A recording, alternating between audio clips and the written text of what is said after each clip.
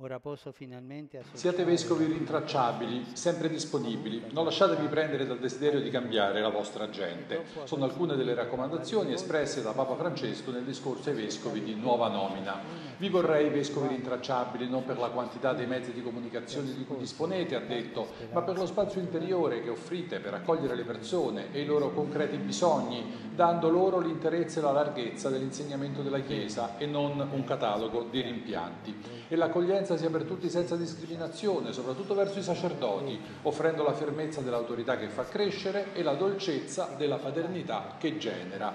E per favore, ha insistito il Papa, non cadete nella tentazione di sacrificare la vostra libertà circondandovi di corti, cordate o cori di consenso, poiché nelle labbra del Vescovo la Chiesa e il mondo hanno il diritto di trovare sempre il Vangelo che rende liberi.